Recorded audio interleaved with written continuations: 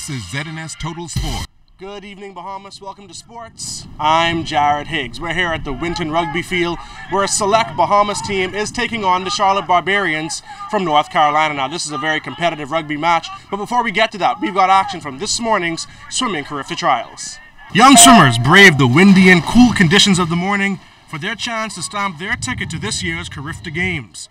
President of the Bahamas Swimming Federation, Algernon Cargill, says they expect to announce the team tomorrow. Things are progressing very, very well. We have a lot of exciting swims here at the pool, and primarily because the swimmers have put the time and energy and the hard work into qualifying for Carifta. We expect to name a team tomorrow, actually, and we will name a full 36-member team to represent us in Martinique. How hard is it going to be to name a team this year? Is it going to be difficult? It's going to be extremely challenging, and we have a lot of swimmers with qualifying times. And um, this year, particularly in the 13 to 14 boys category, we have um, probably more than 10 swimmers in qualifying times. And we capped that category, for example, by eight swimmers only. So um, the coaches will get together and hopefully make the best decisions on behalf of the Bahamas because it is our goal to defend our, our repeat as the triple Carifta champions this year. Cargill also says there's a potential health threat related to the Zika virus. Despite that, he says the team will continue to prepare at the highest standard. There's a Zika um, um, um, threat in Martinique also for Carifta. So um, we're reading those reports very closely. At the end of the day, we'll get the reports from the medical authorities but it's safe for our team to travel. But be preparing as if everything is going to be okay and we're not going to expose our swimmers to any danger. And um, we're very excited about going to Martinique. Going from wet to dry, the CR Walker Knights are riding high after winning this year's GSSSA Track and Field Championship. The Knights outjousted the defending champion CV Bethel Stingrays, who could only manage a third place finish this year. CR Walker ended the final day with 590 and a half points, followed by CI Gibson with 520 and a half points, and rounding at the top three, as we said, was CV Bethel with 486 and a half points. Keeping with track and field, the All Eleuthera High School Track and Field Championship is in the books. Winning it all was Preston Albury with 1,407 points. North Eleuthera was second with 1,093. And in third place was Spanish Wells with 419 points.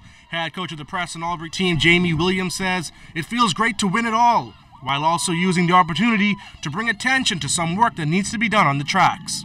We train hard, um, me along with Mr. Sean Paul, math teacher.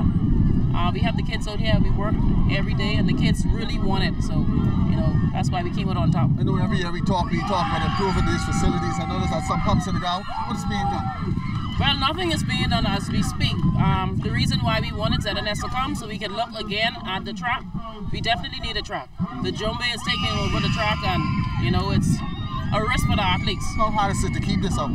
It's very hard because we got to get sand, we have to get the grass cut, um, almost every three weeks, so it's very hard to keep it up. Moving from the grass track to the grass pitch, the BFA Youth League is coming to a close, and to mark the end of the season, league organizers hosted a knockout cup and a day of friendly matches.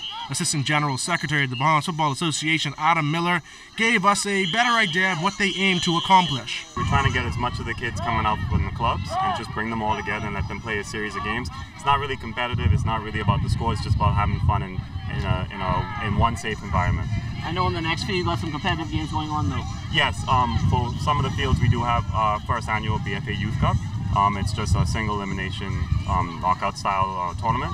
What we're trying to do is we're trying to add a little bit flair to uh, the chance of certain teams that don't do well in the season a chance to actually go and try to win a, a trophy. And staying with football, the BAISS soccer season got underway this week. Earlier in the week, we told you about some senior boys action. SAC beating Kingsway at Kingsway, that one ending 4 to 2, and playing a makeup game on Wednesday evening were St. Andrews Senior Boys and Aquinas College. St. Andrews took this one 4 to 0. Nicholas Pakaris and Ethan Willie led the way for St. Andrews. The youth national team players say they work hard for the win, but there's still room for improvement. Yeah, we started off a little slow, but as the game went on, we found our groove and we started to pass the ball more, get some opportunities, good opportunities. I scored a goal. I got my te- my teammates involved, and I think we played good. Yeah, I, I, missed a few chances myself, but uh, overall it was a good game. Uh, I think we played well. Uh, Aquinas are they're a good team, but we showed that we're better than them. Now, as we said earlier, we're here at the Winton Rugby Field, where a select Bahamas team is taking on the Charlotte Barbarians from North Carolina. After today's activities, the team will head back to their boat and travel to take on a team from Grand Bahama tomorrow. The team from North Carolina was strong in the middle of the pitch, but that wasn't enough to stifle the speedy Bahamian. Speaking for the Bahamas select team was Carl Rogers. Uh, Bahamians are you know great track athletes, um, and we've got the, the size and the speed on these boys. I think Freeport's got a very strong team. Uh, I think they're at the top of the league at the moment, so they'll give them a good run as well. So it's a it's tough coming over and visiting the Bahamas with rugby. The Bahamas took the match 61 to 35. Head coach of the Charlotte Barbarians was another Carl, Carl Ham. He says intercultural exchange is a huge part of rugby. I came down here for my first time in 1977, and what I'm trying to do is bring back the touring aspect of rugby, the culture of rugby. Uh, Ellie of uh, the Buccaneers has done an unbelievable job helping us over the six months we planned this, and it's great to be here. And it's far better than the 20 degrees we left at home. And that's all the time we have for sports. We've got to really give credit to these sports tourism initiatives that bring communities of people together from all over the world. Once again, I'm Jared Higgs. Stay tuned, your weather forecast still to come.